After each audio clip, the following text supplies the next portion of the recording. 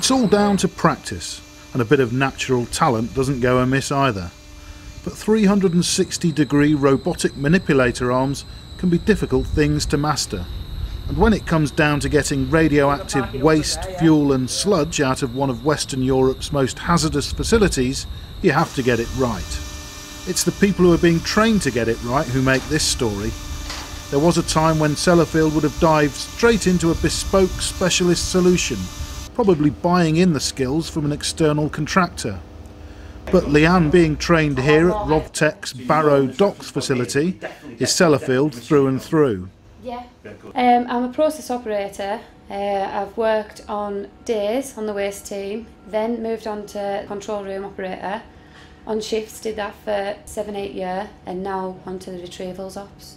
Um, when I was on the waste team, I used to drive uh, the diggers and the machines, so it's kind of like something I've done before, but in a totally different way. Um, but when I got the opportunity to come and do this, I, you know, jumped at the chance to do it, um, and I'm really enjoying it.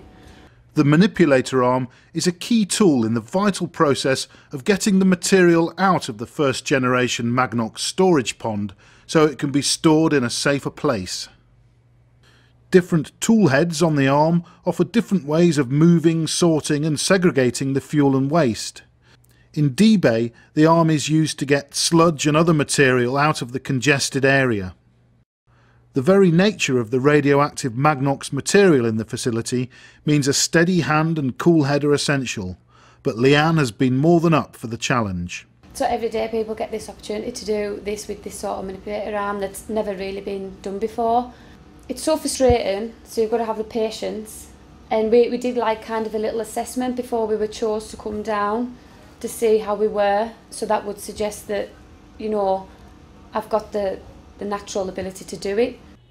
Billy has overseen Leanne's development on the six week course.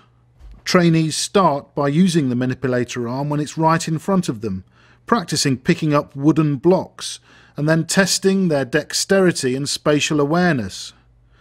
They're then gradually weaned further and further away so that they end up controlling an arm which is underwater and only visible through a computer screen.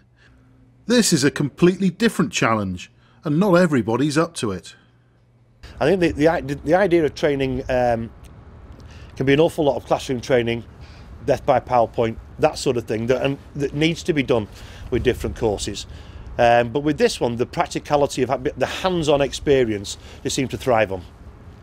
Well, we understand our own people. Uh, we understand what we want to, from the candidates at the end of it. We can intertwine the human performance tools and the decommissioning mindset. We can put all aspects of, uh, of, of, of safety in there and use our own language as well, without being too contrived. We can actually make it a genuine uh, human performance tool. Of course, safety underpins every single element of the training. At the beginning, we stop, we think, we act, review all the time, and that becomes embedded within the, within the training and the assessment. And eventually, we see the, the candidates who are already doing that on the job start to introduce that themselves more and more frequently. Initially, more than a dozen people involved in operating, maintaining, and commissioning the manipulator arm are going through the training programme. The aim is to ensure that the first generation Magnox storage pond has plenty of resilience in having the right operational people to deliver its bulk exports programme. The operators that have already been through the training course down here have expressed how good and how much they've enjoyed it. They're very keen to continue on this, even though it's been a six-week course, and some of them have been travelling down from work on a daily basis. We have, they haven't had no complaints whatsoever about the course, and they're very keen and, and eager for the next week to start and, and continue it on trying to look in-house now and, and develop the operator skills. They've sat there in a, a dormant state for such a long time under control and surveillance and now we want to build their skill base up and keep it in-house. It gives us a, a, a solid base going forward. We're not reliant on a contractor that can leave on a whim or you know move on to a different task. We have our own skills in-house that we can probably develop further on into the future, but it's allowing us to get on to the retrievals task more efficiently and effectively. As the end of reprocessing nears and the decommissioning mission ramps up, Sellafield is changing in a more dramatic way than ever before. That means its people are changing too. People like Leanne. I was worried because it's the unknown.